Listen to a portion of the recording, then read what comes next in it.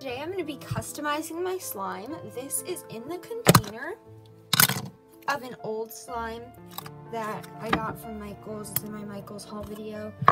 But I just made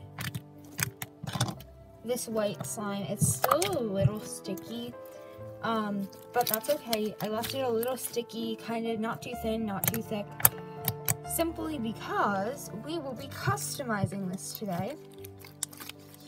And, you know, just thinking of a specific type of slime and how you want it to look. And make okay, so the first thing slime needs is color. So I'm going to add some color to it. I don't know what color yet. Um, There's some different colors I was thinking of for this nice glossy slime. I think we'll try some green. Nice mm, darker green, I guess, like a neon green. I mix.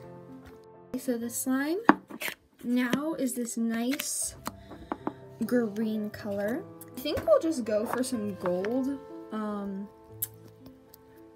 I feel like this is not the best color combo, I think, personally, but um, it could work.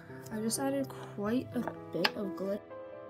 I already have a Valentine's Day slime, so I guess this could be a St. Patrick's Day slime. I didn't mean to make it a St. Patrick's Day slime, but I, I mean, it looks like one, so maybe it could be a St. Patrick's Day slime. I'm now going to add some Elmer's Glow in the Dark glue. Just a little bit of this. Um, just to give it a little bit of glitter and to give it a, like a thicker texture.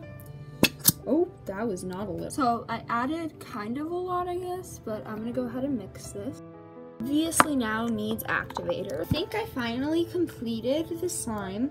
On camera, it looks less vibrant and it looks, there we go, it looks kind of, it is a,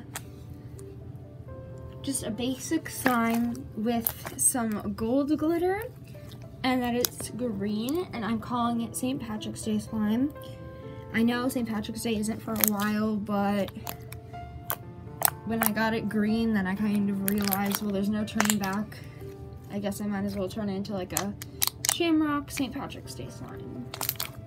If you enjoyed this video, have an awesome day.